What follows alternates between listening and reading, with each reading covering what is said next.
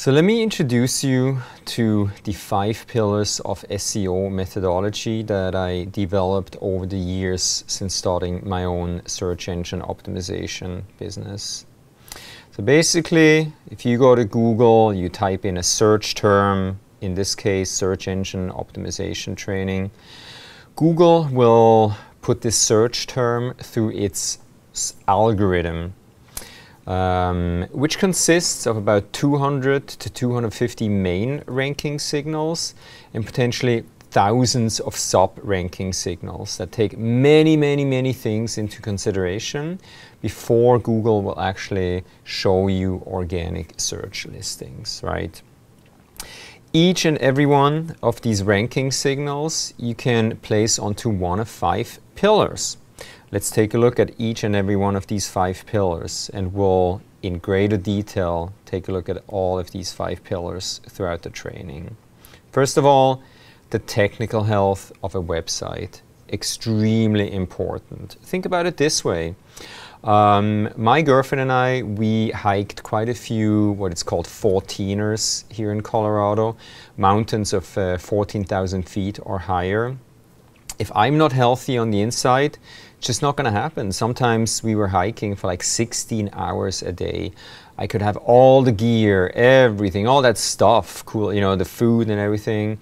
If I'm not healthy on the inside, it's not going to happen. The same thing applies to your website. If your website potentially has spam on the inside, you will get penalized by Google. All right. Let's talk about the pillar number two, the functionality of your website, or also known as the user experience. Um, if your website doesn't function in a way in that it is easy for people to find what they're looking for, they can consume pages, jump from one page to another page that makes sense, you will actually get downgraded. And Google made it very clear if you know, your visitor doesn't have a great user experience, you may get downgraded in Google search. Pillar number three, on-page search engine optimization. Starts with keyword research. Then, you know, how you're going to optimize each and every page's meta tags. How are things hyperlinked on your uh, web pages? That's called on-page SEO, basically anything that you can physically manipulate on your website.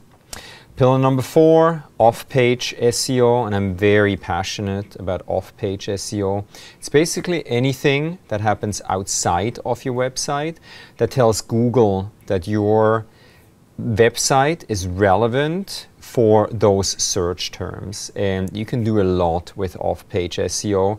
So I hope I'm getting you a little bit excited about uh, what's possible uh, outside of your website. Then, you know, love it or hate it, but social media marketing simply has to be part of your SEO strategy.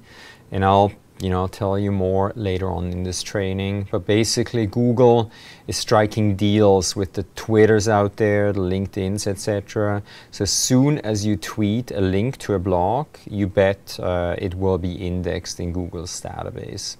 Then, of course, there is no SEO without content or content marketing. So that truly is the foundation of these five pillars.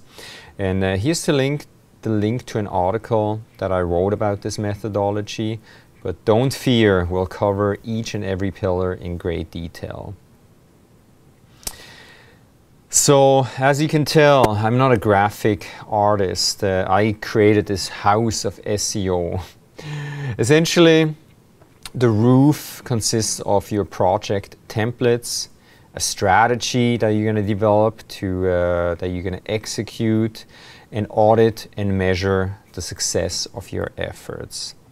Then in the house we have several rooms. Those are basically the five pillars of SEO where we're also going to use tools to uh, you know keep those rooms clean, etc.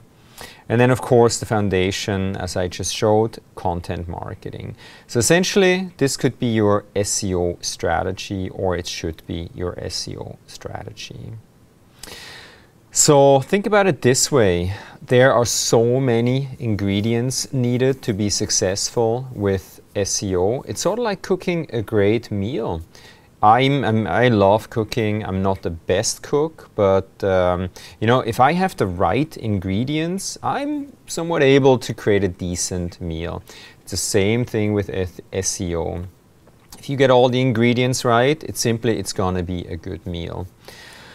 Um, if you get all those ingredients right, um, you'll also build what is called your digital marketing credit score.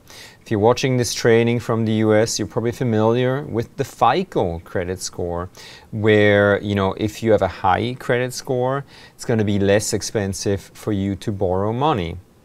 If you have a low credit score, you know you're not as trustworthy, and you'll probably spend more money on borrowing money. It's the same thing with your digital marketing credit score. If you can prove to Google that you're worth it to be listed up there, it will be easier for you in the long term to get those page number one rankings and to actually stay up there. I hope that makes sense. This page, uh, I included this to uh, show you about the, the, main search engine ranking factors. It's a, a study provided by Moz, which we're going to also take a closer look at uh, throughout this training. Uh, I recommend that you take a look at the study and just take a look at some of the major search engine ranking factors. Um, this was compiled back in 2015. All right. So search engine optimization, you know, it's not a one-person effort. In some cases or in many cases, you are actually that team.